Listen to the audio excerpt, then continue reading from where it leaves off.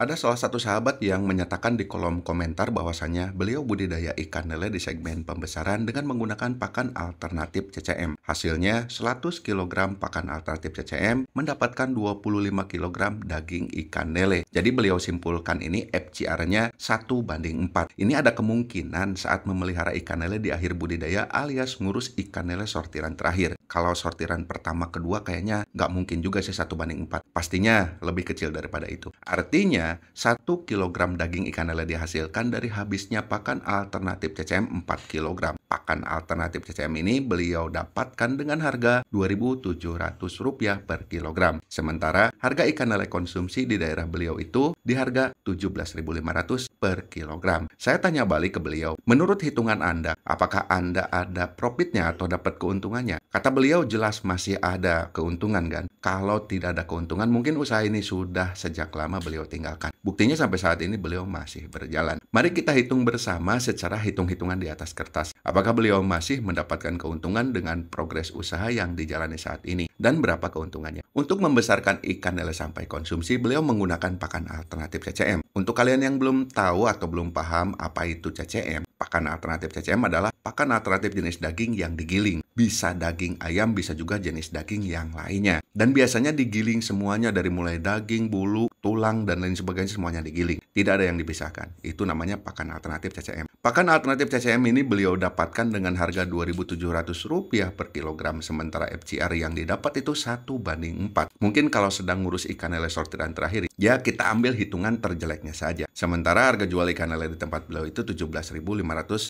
per kilogram. Kalau 1 kilogram ikan lele konsumsi dihasilkan dari habisnya pakan CCM 4 kg berarti Rp2.700 dikali 4 sama dengan 10.800. Sementara harga jual ikan lele konsumsi di daerah beliau itu di angka Rp17.500. Berarti tinggal kita kurangi saja Rp17.500 dikurangi Rp10.800 untuk harga pakan CCM ini. Hasilnya sama dengan Rp6.700 kurang lebih sisanya. Ini menurut hitungan kalkulator di atas kertas. Kalau saja pakan ini diolah, mungkin akan ada biaya lagi. Juga belum biaya yang lain-lainnya. Tapi ingat, ini perhitungan terjeleknya, yaitu FCR 1 banding 4. Gak mungkin kalau di awal FCR segini terus. Pastinya FCR 1 banding 4 ini di penghujung budidaya saat mengurus ikan lele terakhir atau ikan lele sortiran terakhir yang kecentet atau kuntet. Bagaimana kalau FCR di awal budidayanya itu 1 banding 2? Lalu di pertengahan budidaya FCR-nya 1 banding 3. Saya rasa masih ada keuntungan. Selebihnya saya pasarkan kepada netizen terutama yang pernah mengalami hal serupa. Di beberapa video yang sudah saya bagikan kepada kalian bahwasanya jika kalian budidaya ikan lele di segmen pembesaran dengan pakan alternatif, jangan pernah menanyakan hitungan FCR. Jelas akan kalah dari segi FCR kalau kita menggunakan pakan alternatif. Sebab dengan menggunakan pakan pabrikan yang bagus saja untuk mendapatkan FCR 1 banding 1 itu sangat sulit kalau bukan faktor hoki atau lagi beruntung. Dengan pakan pabrikan itu rata-rata FCR 1 banding 3 atau 1